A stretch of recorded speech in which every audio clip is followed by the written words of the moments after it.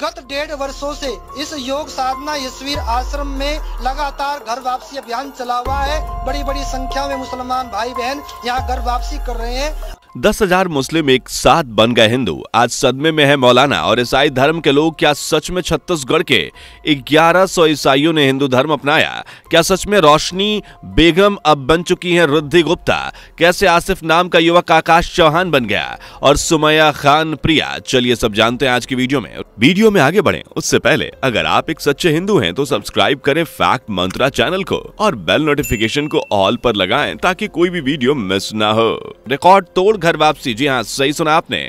लगातार बढ़ती जा रही घर वापसी की संख्या। दिन ब दिन घर वापसी के आंकड़ों में इजाफा होता जा रहा है। इन आंकड़ों में वे सभी धर्म के लोग शामिल हैं जो किसी समय पर हिंदू धर्म को अपनाना नहीं चाहते थे। आज वे सभी सनातन धर्म के भक्त बन चुके हैं। आप यकीन नहीं मानेंगे दोस्तों कि आज वो सभी गैर हिंदू जिन्होंने हिंदू धर्म को अपनाया है, उन सभी की खुशी के ठिकाने नहीं है। बल्कि वो सभी तो खुलेआम कह रहे हैं कि हिंदू धर्म से अच्छा कोई धर्म नहीं है। हिंदू धर्म की सभ्यता, इसके विचार, परंपराएँ और संस्कृति, हर चीज़ एकदम निराली है, जो हर किसी को आकर्षित करती है।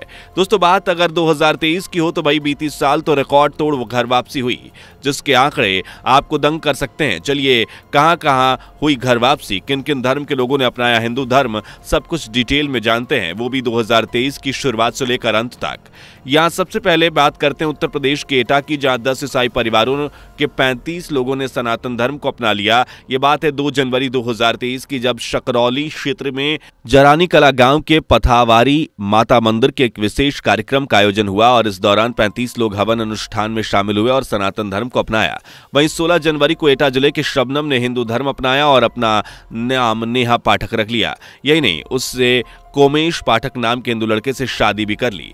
जनवरी का आंकड़ा यहीं खत्म नहीं होता। 19 जनवरी को छत्तीसगढ़ के महासमुद ज़िले में लगभग 35 परिवारों के करीब 1100 ईसाइयों ने हिंदू धर्म को अपनाया। इस दौरान भाजपा नेता प्रबल प्रताप सिंह जुवैद ने सभी के पैरों को गंगा जल से शुद्ध किया। दोस्तों, बागेश्वर धाम से तो आप सभी अच्छे से वाकिफ होंगे। इक्कीस जनवरी को छत्तीसगढ़ के बिलासपुर की रहने वाली मुस्लिम महिला सुल्ताना बेगम ने हिंदू धर्म को अपनाया। साथ ही बागेश्वर धाम में उन्होंने कहा कि हिंदू धर्म से बेहतर कोई धर्म नहीं है। यहाँ महिलाओं का जीवन खराब नहीं होता भाई बहनों के बीच निकाह नहीं होता। वहीं 22 जनवरी को मध्य प्रदेश के मुरैना में रहने वाले सलीम खान ने सुखराम दास नाम रखकर हिंदू धर्म को अपना लिया। ये तो केवल एक ही महीने की बात है, जनाब। आगे देखिए, आप हैरान रह जाएँगे। एक फरवरी 2023 को झारखंड के लोहरदग्गा में तेरह मेंबर की फैमिली ने ईसाई धर्म को छोड़कर सनातन धर्म को अपनाया। वहीं यूपी के बरेली में सबा बी नाम की युवती ने अपने नाम प्रेमी अंकुर देवल से शादी करके हिंदू धर्म अपना लिया और सात फरवरी को मध्य प्रदेश की मुरैना के रहने वाली एक मुस्लिम परिवार ने हिंदू धर्म में आने का फैसला किया। परिवार के मुखिया यूसुफ खान ने दावा किया कि उनके समुदाय के कुछ लोग उनके पैतृक घर को नष्ट करने का प्लान बना रहे थे, जहाँ अब यूसुफ एक मंदिर बनाने का इरादा भी रखते हैं। चंडीगढ़ की नाजिश खान, जिन्होंने हिंदू धर्म अपनाकर पूजा नाम रख लिया। वहीं तेरह फरवरी को दिल्ली के आर्य समाज मंडी में अजय कुमार के साथ शादी भी कर ली। 19 फरवरी को बागेश्वर धाम में 220 कन्वर्टेड ईसाई हिंदू धर्म में वापस लौट आए। यह नहीं छत्तीसगढ़ में 21 फरवरी को करीब 250 लोगों ने हिंदू धर्म में वापसी की, जो कभी ईसाई धर्म को मानने वाले थे। सत्ताईस फरवरी को एक सौ बयालीस लोग ईसाई धर्म को छोड़कर सनातन धर्म में वापस आ गए। वहीं अट्ठाईस फरवरी को आगरा, यूपी की नरगिस ने हिंदू धर्म अपनाया और मैनपुरी के आलोक से शादी कर ली। दोस्तों, आंकड़े बड़े ही शॉकिंग हैं। चलिए आपको मार्च महीने में ले चलते हैं। लेकिन उससे पहले अगर आपने वीडियो को लाइक नहीं किया तो जल्दी से लाइक कर दीजिए, चैनल को सब्सक्राइब करना ना भूलें। बात है 18 मार्च 2023 की। जब मध्य प्रदेश के झाबुआ ज़िले में एक परिवार ने हिंदू धर्म को अपनाया जिन्होंने करीब 9 साल पहले ईसाई धर्म को अपनाया था, वहीं 10 अप्रैल को यूपी कानपुर के एक मंदिर में रहमत अली ने हिंदू धर्म अपना लिया, जिन्हें अमृतक नाम से जाना जाता है। 17 अप्रैल को यूपी बरेली में सबीना नाम की एक मुस्लिम लड़की ने अगस्त मुनि के आश्रम में हिंदू धर्म को अपनाया और सोमपाल से शादी कर अपना नाम सोनल रख लिया। खबरों के अनुसार अगस्त मुनि आश्रम में चौसठ से ज़्यादा मुस्लिम लड़कियों ने हिंदू लड़कों से शादी कर ली और वहीं इक्कीस अप्रैल को मुस्लिम लड़की रोशनी बेगम ने हिंदू धर्म अपनाया और शिवम गुप्ता से शादी कर रुद्धि गुप्ता बन गईं।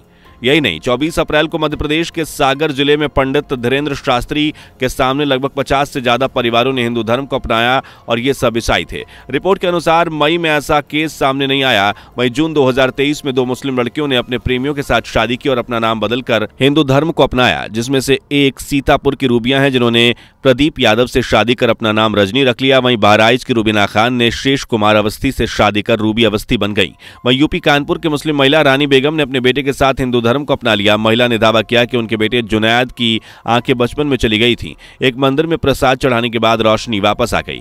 इसी कड़ी में पंद्रह जून को Pakistani social media influencer Mohammad Shayan Ali ने हिंदू धर्म को अपनाया और ट्वीट करके अपनी घर वापसी का ऐलान किया। वहीं यूपी मुजफ्फरपुर ज़िले की एक मुस्लिम लड़की आयशा ने घर वापसी समारोह में हिंदू धर्म अपनाया और फरीदाबाद में रवि नाम के लड़के से शादी की और अपना नाम आयशा से आशा रख लिया।